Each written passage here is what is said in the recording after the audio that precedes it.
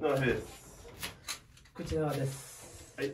腕立て何回できるか、やってみたいと思います。で連続でね。連続で。連続で。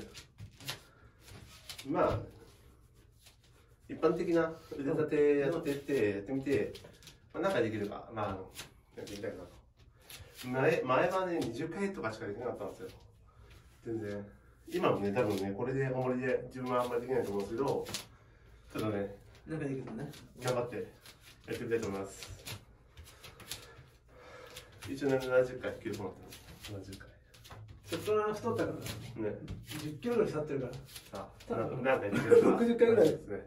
だと思うけどな。まあ、短い動画になりますが、よろしくお願いします。お願いしますはい。じゃあ、一応、ちょっとね、肩回して、あの、やっぱりいきなりやるとね、あの、怪我必要なんで、怪我の元になっちゃうので、うん。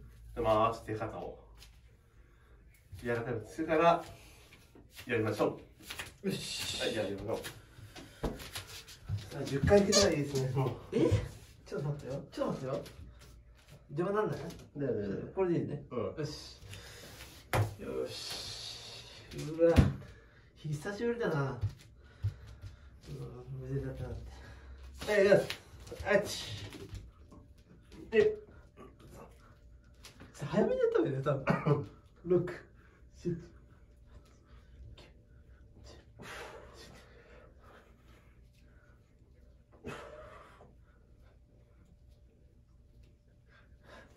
25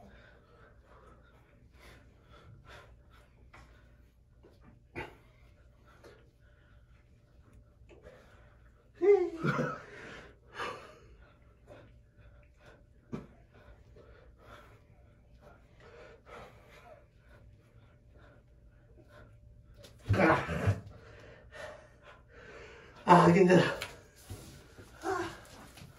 や、やった方がそれは。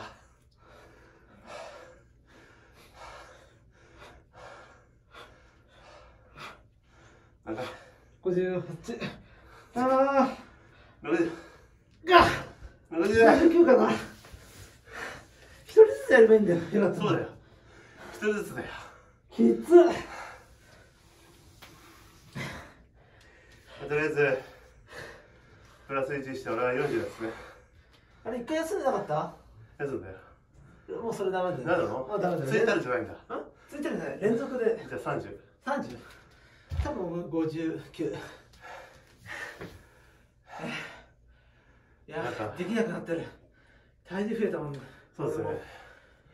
やっぱ、あのー、自重？自分のをね、重りにして、あの、やる筋トレなんで、本当に、お金とか使わずにね、できる、えースクワット、腕立て、腹筋、背筋、やっぱこの辺は、あの、皆さんでもね、できると思う。ただね、できるので、どこでもできるのでね、ぜひね、試してください。それは自分でいけません。言っちゃいます。足がいっちゃいます。なんだっけ、今の。なんだっけ？何？今のなんだっけ？あ名前あるんねだね。わかんない。まあいろんなね、あのとりあえず体を動かせばもう筋トレなので、ぜひあのこういうね、電気ペットでしてるこういうのも、全身ので、ぜひやってください。今日リングフィットのはい。代わり。これリンゴフィットのの感じです。そうん。もう疲れてました。はい、じゃあ、えー、ご視聴ありがとうございました。